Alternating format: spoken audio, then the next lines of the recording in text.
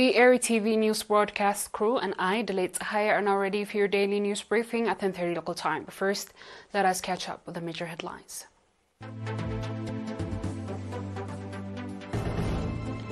Meeting conducted con- to control tree locust invasion in Gash-Barka. Commendable soil and water conservation activities conducted across the nation. NATO urged its members to step up a military aid to Ukraine aimed protest. And flooding disrupts life in eastern Argentina.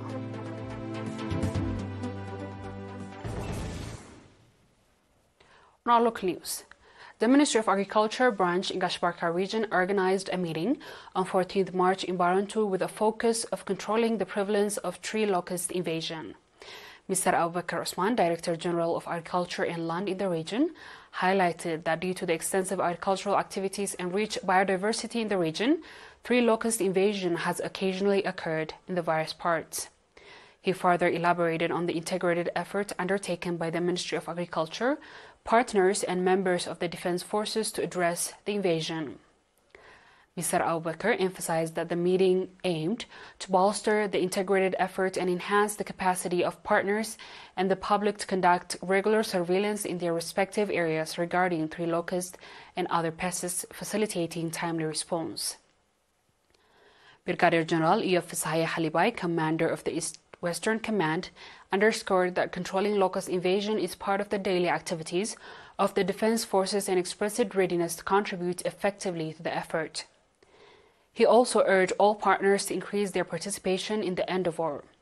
Speaking at the occasion, Mr. Arefaine Berhe, Minister of Agriculture, highlighted the damage tree locusts and migratory pests could inflict in forestry resources and the environment and he called on regular surveillance and information exchange among concerned institutions to enable prompt response.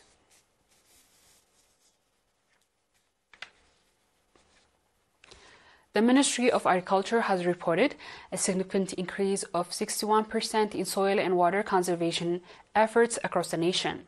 Mr. Dawit Mabrahtu, the head and soil and Water Conservation at the Ministry of Agriculture disclosed that in 2023, soil and water conservation activities covered approximately 26,000 hectares of agricultural lands, with the construction of around 5,600 cubic meters of water catchment schemes.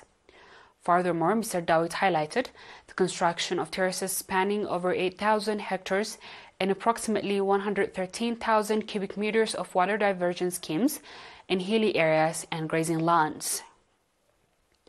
Mr. Dawit further noted that construction of 16 microdams in various regions during 2023, with an additional 42 under construction, praising the active involvement of both the public and the defense forces in these dam construction initiatives.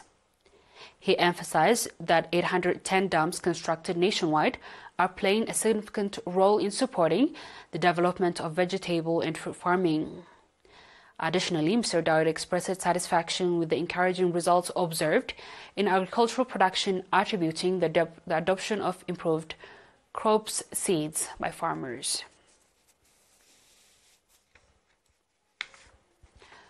The Workers Vocational Training Center in Massawa has successfully provided three months of vocational training to 48 young individuals.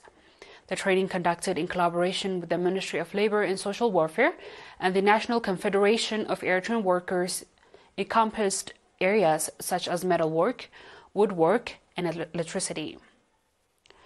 During the conclusion event held on 15 March, Engineer Akhlilu Asmaram, Deputy Director of the tra- Training Center, highlighted the ongoing commitment of the National Confederation of the Eritrean Workers, particularly the Massawa Workers Training Center, in providing vocational training to workers nationwide.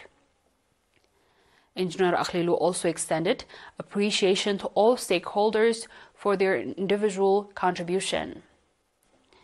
Mr. Amaha Kidana, Director General of Administration and Finance at the Ministry of Labor and Social Welfare, emphasized the significance of the training and encouraged the trainees to apply their newfound skills, particularly in their respective fields.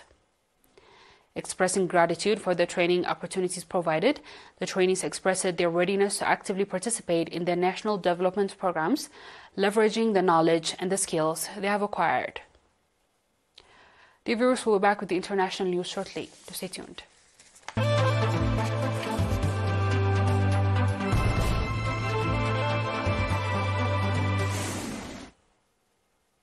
Welcome back.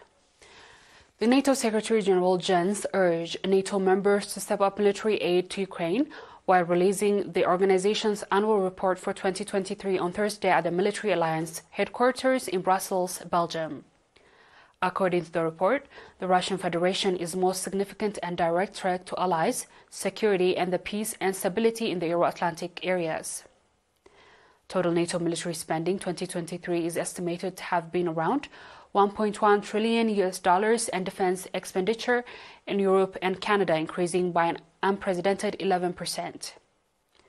Just a day ahead of the release of the report, some German citizens held a protest in front of the Brandenburg Gate in Berlin. The protesters stated that NATO is instigator of the ongoing Russian-Ukraine conflict, which broke out on February 24, 2022, and that NATO actions will only further stoke blow confrontation, create unnecessary tensions, and pose a serious threat to the conflict affected areas. On our last news. A large area of eastern Argentina was underwater on Friday after heavy rains caused flooding, local media reported. Television footage showed streets completely submerged, with locals wading through thigh of high water and cars stranded.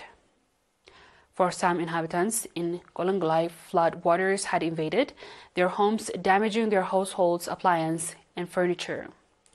Much of Argentina's Entre Ríos province has been affected by heavy rain, local media reported. The National Meteorological Service is maintaining a yellow alert for possible heavy rain in the region. Dear viewers, we've come to the end of tonight's news. Let's have a quick recap of the times. Meeting conducted to control tree locust invasion in Gash-Barka. Commendable soil and water conservation activities conducted across the nation. NATO urged its members to step up a military aid to Ukraine aimed to protest. and flooding disrupts life in eastern Argentina.